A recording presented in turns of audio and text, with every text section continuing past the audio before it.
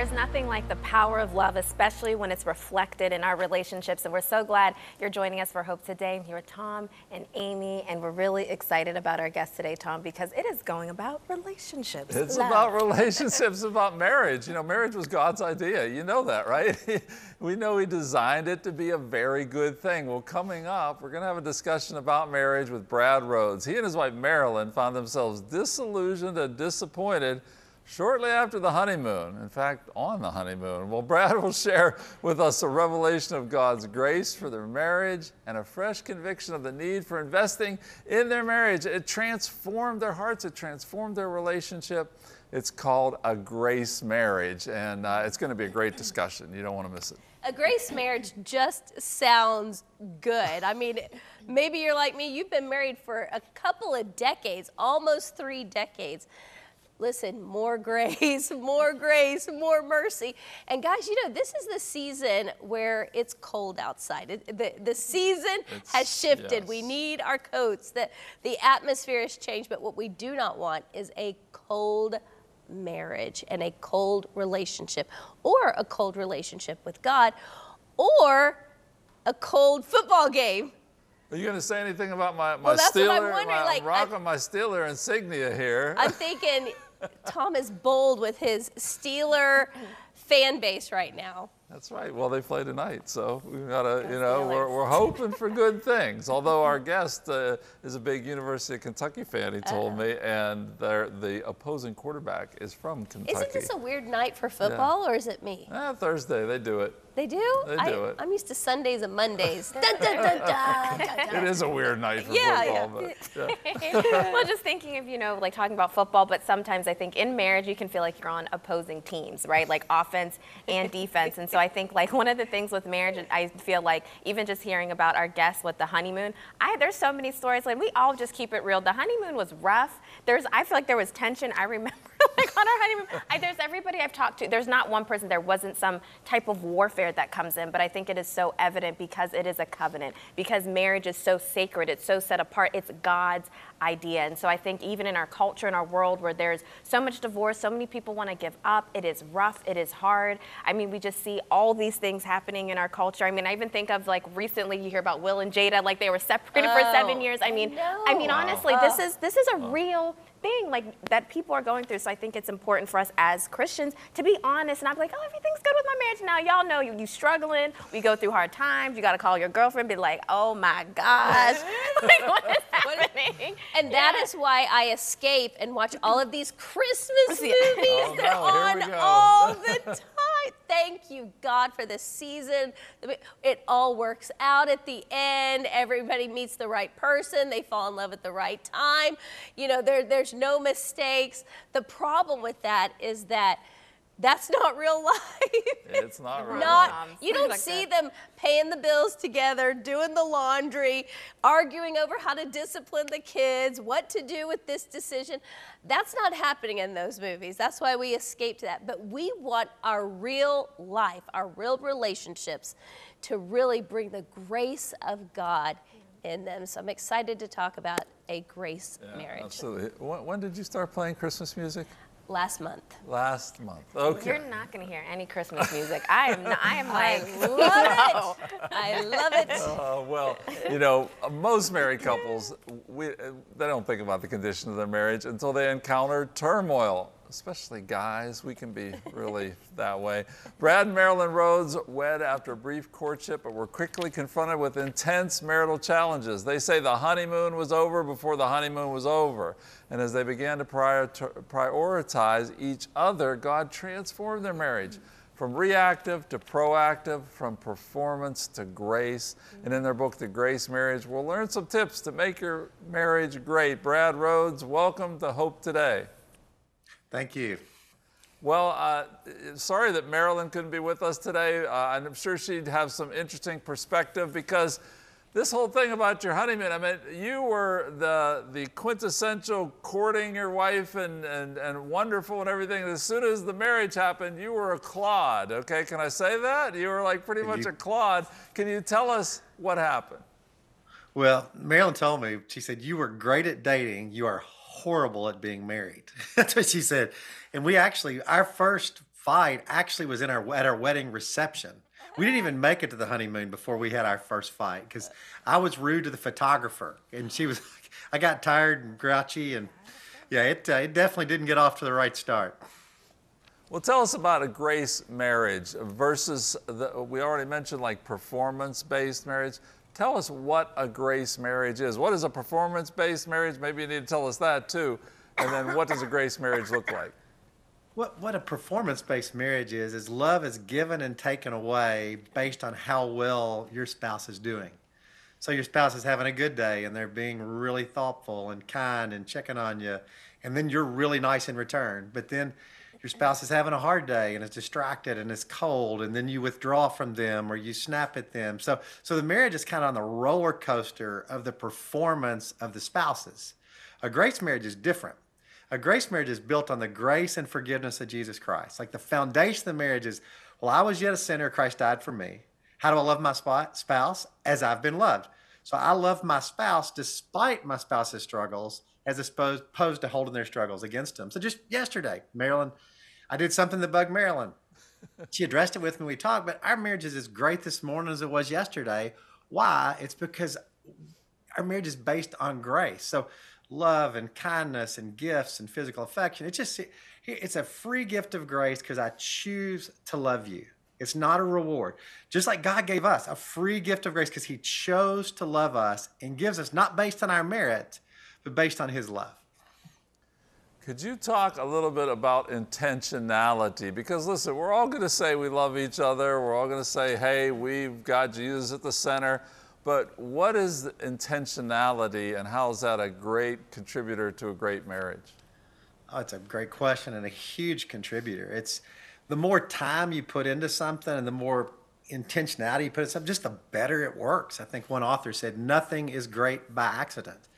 And the, one of our biggest keys is to get people to spend time together. I mean, if couples would spend significant one on one time together, a lot of our marriage issues would go away.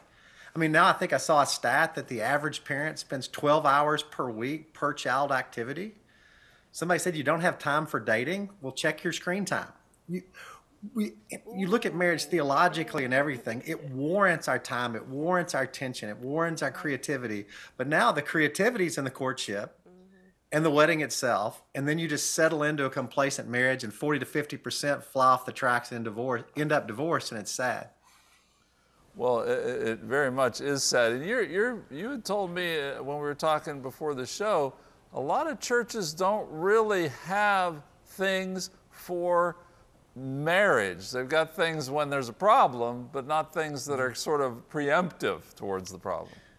Well, you are so right. The Communio Barna study showed 72% of churches have no marriage ministry.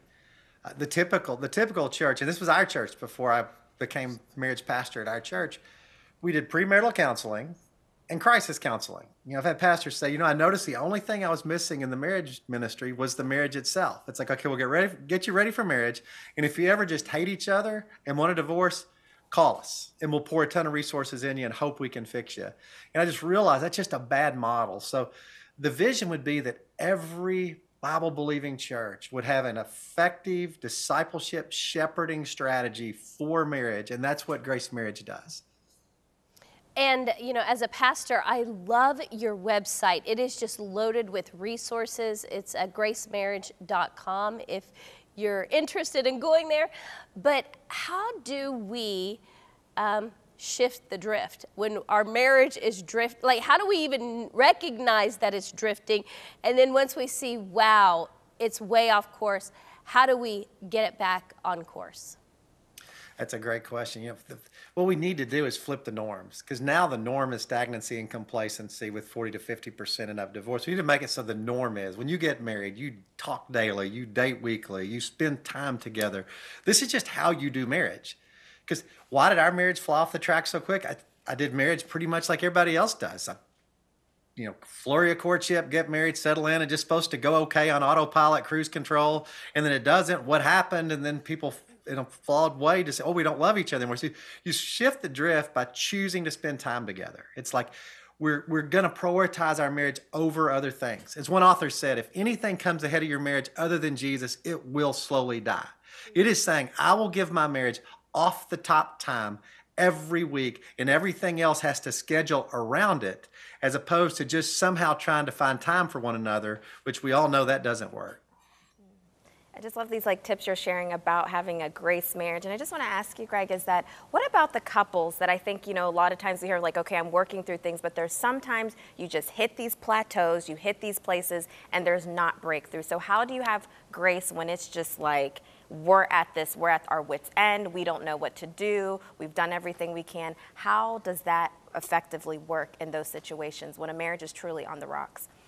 That's a great question. You need outside help. You need a biblical counselor, a, you know, a pastor. You need to seek outside help, and and just remind yourself, you know, I'm under the grace of God. God's sovereign.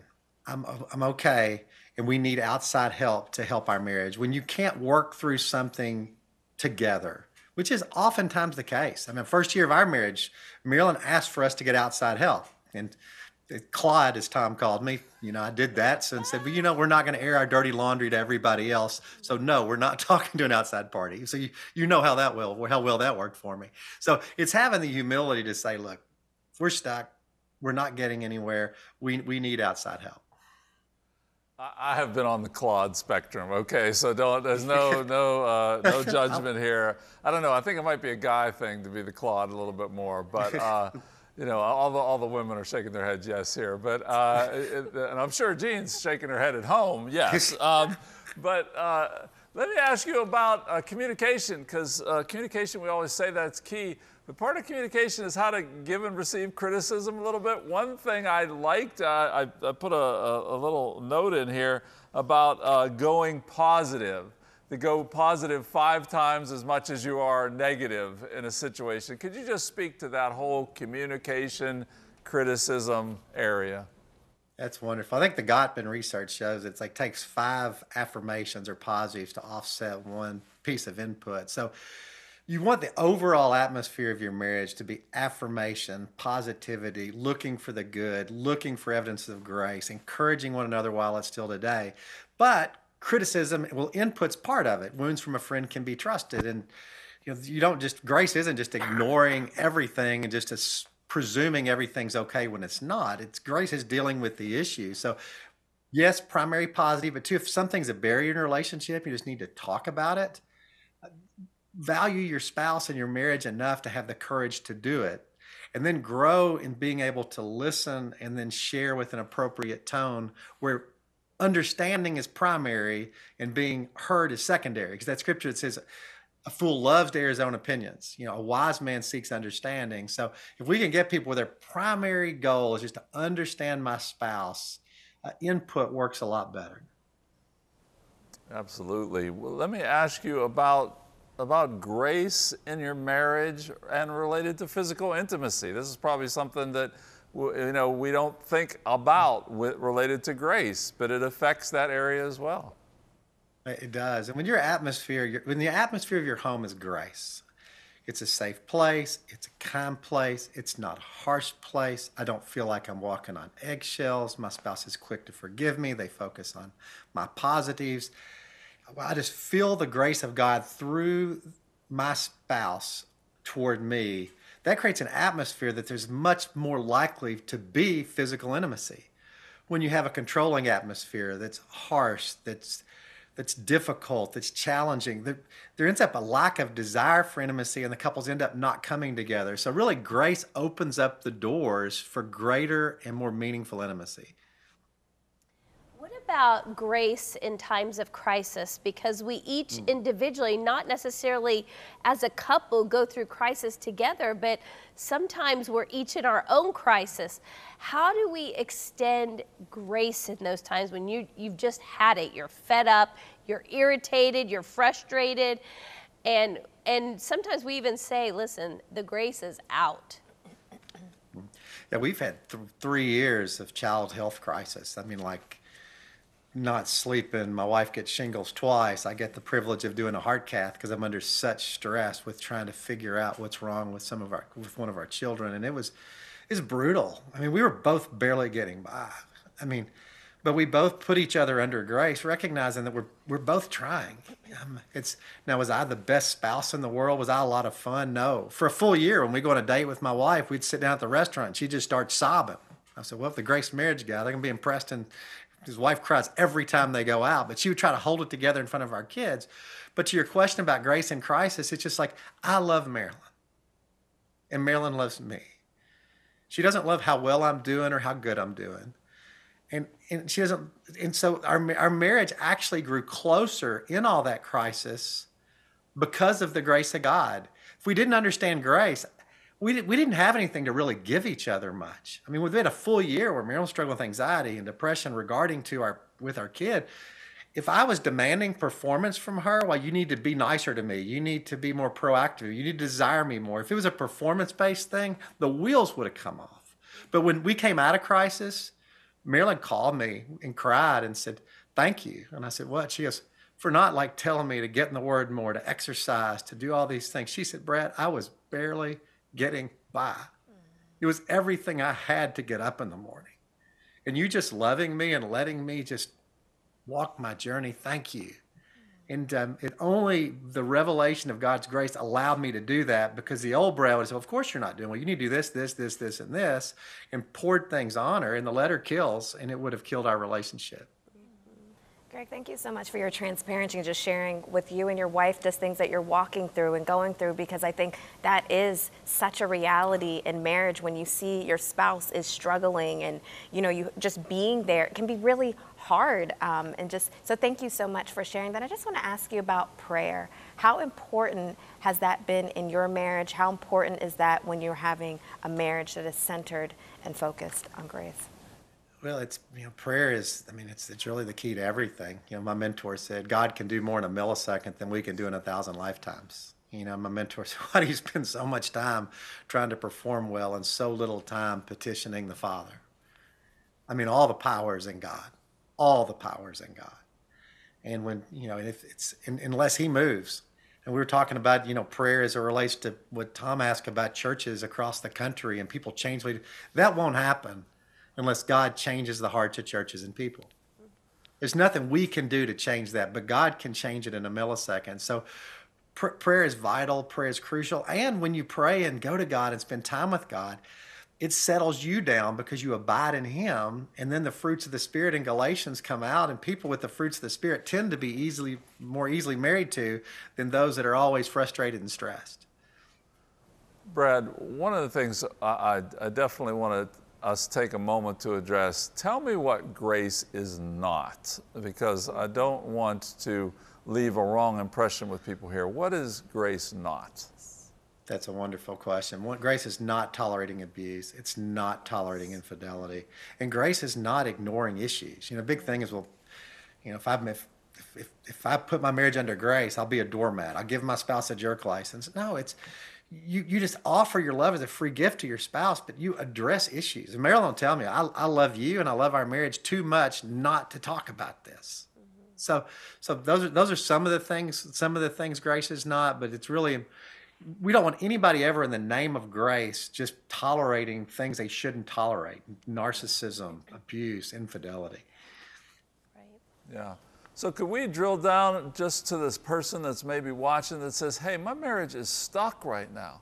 I don't know what to do. I don't know where I don't know where to go, how to uh, approach my spouse. I don't know, you know, we all just seem stuck. We're not going anywhere. Can you uh, maybe speak to that person directly and even pray for that person?" Absolutely. Well, you know, one is just like when I was, you know, my, my year of clodness, you know, Marilyn was in despair. It's like she said, she said, "Am I sentenced to a life of this?" I mean, she was miserable. And then God opened her. God said, Marilyn said, God spoke to me and said, I am sufficient for you. I'm enough. And if Brad never changes, you're going to be okay because you're my adopted daughter. And your beauty doesn't come in Brad making you feel beautiful. Your beauty comes in being my unique creation. So the first thing I would say is go go go to God and find all your identity in Him. It's not Jesus Christ plus a decent spouse and you're okay. It's G- Jesus Christ. Christ is all sufficient. And as it relates to marriage, pray, pray, and pray. Seek outside help. keep trying. Don't give up. There's some wonderful crisis resources out there. There's there's there's intensives out there. There's good counselors out there. Uh, uh don't don't give up. Don't give up, and really seek to be refreshed in the only place of true refreshment. Amen. Could you just pray for that person? It'd be a privilege, Lord. There's many people that are just hopeless and uh, in despair and uh, miserable and feel like things will never change and life has been so disappointing. And I pray that you would just just fill them with life. Because scripture says you are the way, the truth, and the life. You are the source of life. And I pray that, that you would replace hopelessness with hope. I pray you would um, change the hearts of oblivious spouses that are, um, you know, your word talks about in the Proverbs, you know, it's how sad it is for an unloved woman to be married. And we pray that you would open the eyes and hearts of, of husbands and wives all over this country to, to see your truth and to lay down their lives for their spouse as you did for them. Lord, we love you and we pray you, praise you, and we, we ask for miraculous transformation in millions of marriages around this country. Not for us to have a better life, but for your glory and your beauty and your grace and your sacrifice to be demonstrated on this earth. In Christ's name, amen. Amen. Brad Rhoads, thank you so much for being with us. The book is called The Grace Marriage How Go- the Gospel and Intentionality Transform Your Relationship. Brad, give our best to Marilyn. We hope she's feeling better. Thank you so much, and thanks for having me. Well, we're going to take a quick break, and when we come back, we're going to have a time of ministry just for you.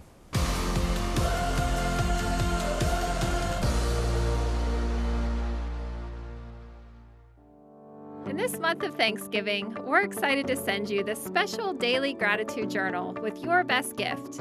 This easy to use journal will encourage you to bookend each day with short, personal reflections that bring insight and intentionality to your busy and always changing life. How can six simple questions help you better navigate life's uncertainty? Best-selling author Tsh Oxenreider invites you to lean into the rhythms that each morning and evening offers with a twice daily thought exercise focusing on gratitude, truth, grace, and more. As you reflect on three key questions near the beginning and end of your day, you will be more poised and prepared for whatever God has for you in the hours between. Request your gratitude journal today when you give. Call 888-665-4483 or donate online at ctvn.org/donate. Thank you for giving to Cornerstone Television. Don't you just love the word grace? Amazing grace, how sweet the sound that saved a wretch like me. And I love the idea of bringing that grace into your marriage. Bring that grace into all of your relationships. As I was just at my daily discipline this morning of, you know, going through my one year Bible, I went through a scripture and I was like, this is perfect for what we're talking about today. And it's Hebrews 4, verse 16. And it says, In the Amplified, let us then fearlessly and confidently and boldly draw near to the throne of grace the throne of God's unmerited favor to us sinners, that we may receive mercy for our failures and find grace to help in good time for every need, appropriate help, and well timed help coming just when we need it. So I think about like in our marriages, are we sitting on the throne of judgment, the throne of negativity, the throne of whining, the throne of it's like what are we doing? Like we his win is my win. My win is his win. We have got to extend this grace. Our Father sits on the throne of grace, and yet we come down on earth and we sit on our thrones of judgment. It's like, what are we doing? We're here to extend that grace that we've received to others. And you know, in this relationship, is it a grace based relationship or is it a performance based relationship? You know, Sydney and Tom, this ties into like our relationship with God. Are we just receiving the grace of God? Or are we working and striving and performing to earn it, not by His works, but my works? It's, it's not that He loved me, it's that I loved Him first. It's like, wait, wait, wait, we've got it wrong. It's we love because He first loved us. We've received grace, so then we can extend grace. We've received forgiveness, we can extend forgiveness. So we are really believing God today, Sydney, for marriages that are struggling, that maybe we get off of that throne, whichever we've made it, and that we get down like God and we extend grace when they need it. They need help, right? Yeah, I love when you just did that, your quiet time, how God, like, so apropos for what we're talking today about the throne of grace and a grace marriage. And there's two things that are coming across my mind what Amy was sharing. And the first thing is when I think of the throne of grace is that one of the things that I know in marriage that I just want to share that has just been such a game changer, getting on my knees and praying getting on my knees and interceding, getting on my knees and standing on the truth of God's word. God, that you say that the two shall become one. You say that what you put together, let no man put asunder.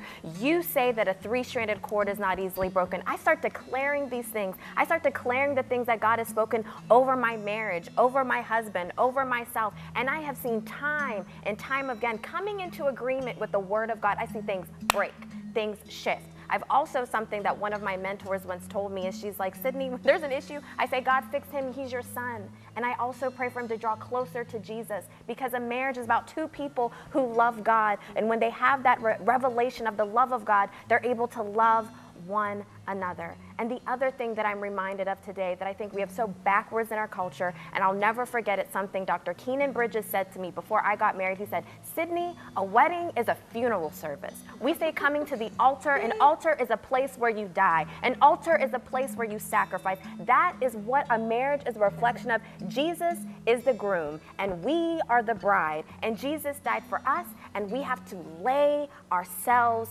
down. So today I just want to encourage you, what do you have to lay down at the altar? Sometimes we look like, I mean, there's issues, you're like, you're doing this and that, but sometimes I'm like, God, change me. Change my heart. Turn my heart of stone into a heart of flesh.